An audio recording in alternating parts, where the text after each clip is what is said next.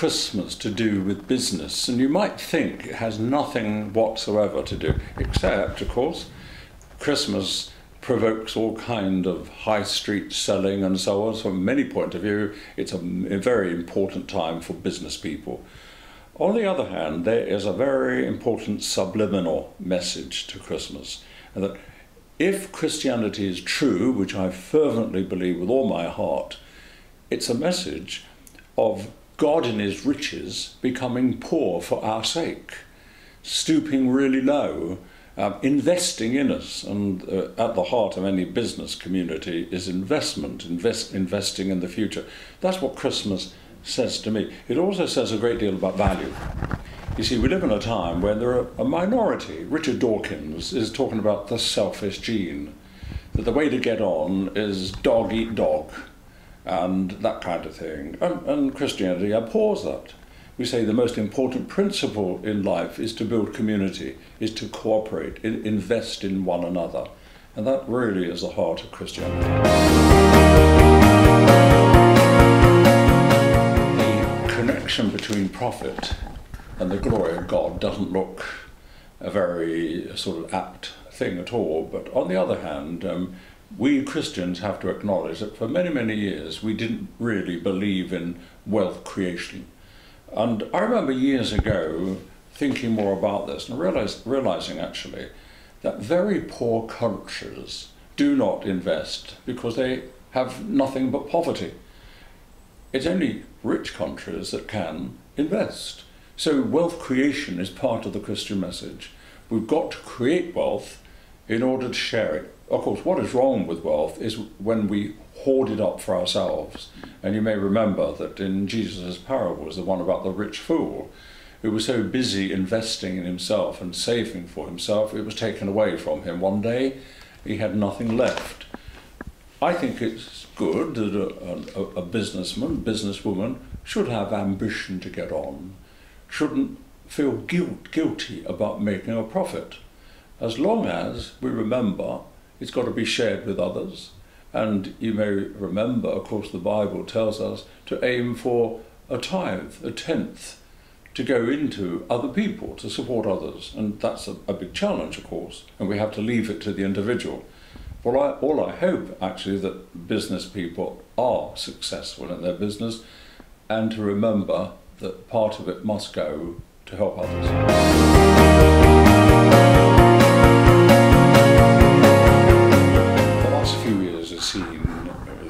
Kingdom and many other parts of the Western world um, groping with uh, problems to do with corruption in business and so on. I think we've all been pretty shattered by that. It's really undermined uh, the banking industry particularly, and there's certain things, of course, that need to be put right. We've obviously got to address the issue of corruption in business.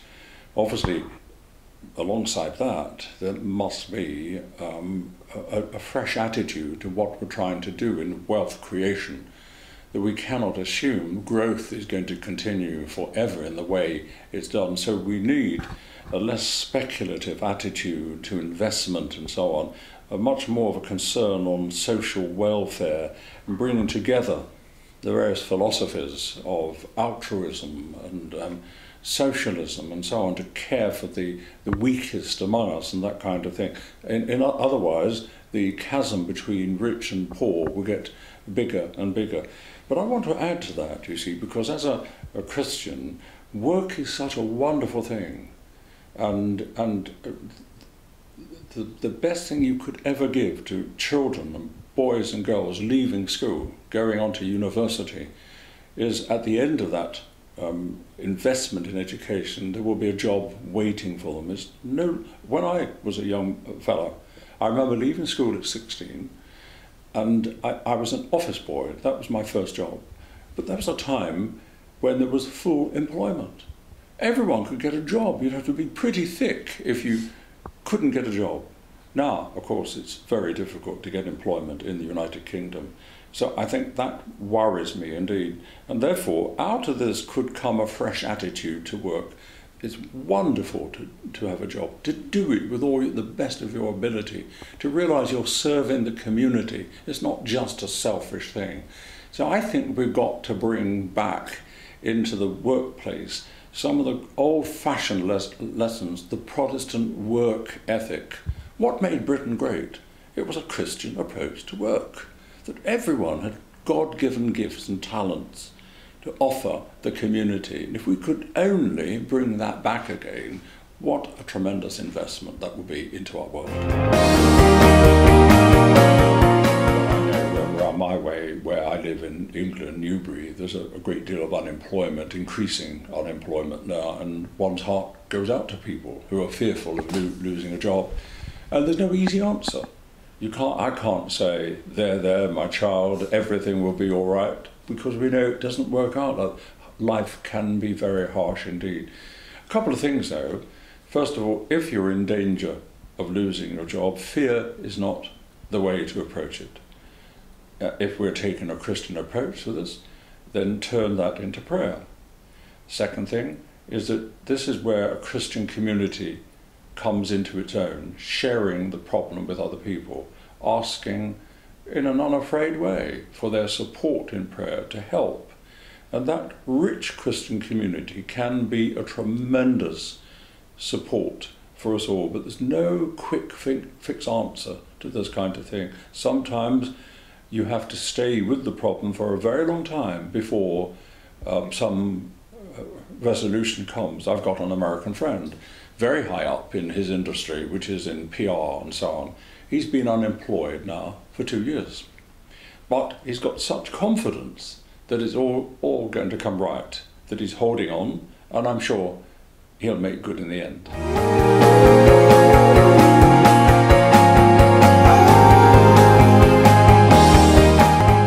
I love this question very much indeed because the Bible, of course, takes very practical things about things like riches and so on. The more verses in the Bible um, about poverty, about riches, then you would scarcely believe. I think there are at least 2,000 references to poverty alone. And when you think that Jesus' teaching was saturated with advice about wealth, about money, about storing money, about the, where the kingdom of God is located, and so on. Well, here are a couple of suggestions. I've written them down. Micah 6, verse 8.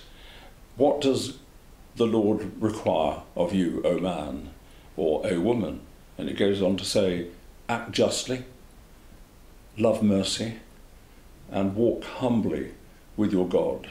And I think those three together, to act properly, be merciful, and to consistently walk with the Lord, that's such a wonderful thing.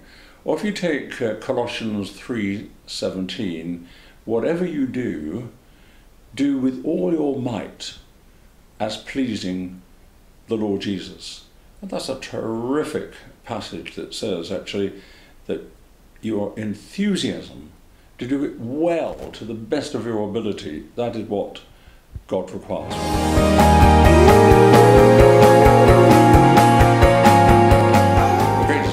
Danger, well, there's several, of course. Um, complacency uh, might be one. You, um, pride in yourself that you are doing a good job and you've got a good thing rolling for you, and so on. These are some of the dangers. The, the important thing in business is actually always remember you're a servant. And you're serving the Lord, if you're a Christian. You're serving the community because you want the thing you're making to be the very best. So a sense of pride in what you're doing is a very honourable and necessary thing, but also a degree of humility. It could go bust at any moment. There's always that risk because risk is fundamental to any businessman. I've got a son in law who's in business. He's just taken over his father's jewellery business. It's a small business in Somerset. And I've seen this young man with lots of worries, realizing what a difficult thing it is.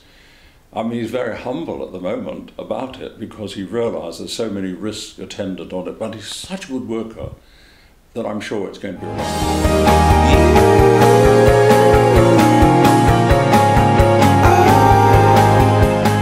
I'm involved in the United Kingdom in the Not Ashamed crusade, really, because there is great evidence that Christians are being silenced in their workplace. We're being encouraged or being pressurized into pushing faith into a private area where it makes no noise and doesn't disturb people. And that's not Christianity. Christianity is a public faith. It makes an enormous difference on our world. In fact, actually, historically, we could prove this. Actually, one of the things that made Britain great compared to other, other parts of Europe or the Middle East is the power of the Christian faith on behavior. So, Christianity is a public faith which demands put into operation. So I'd say to people in their workplace, don't be ashamed of your faith, tell it as it is, but always remember courtesy, humility, um, and having a sense of humour is a wonderful thing. Don't ram your religion, your faith down somebody else's throat, but live it out, speak it out, and be sensible in it. I mean, this is where sometimes Christ Christians let the side down because sometimes they're intolerant, they are not reasonable, um, they're judgmental, and we've got to avoid that kind of thing.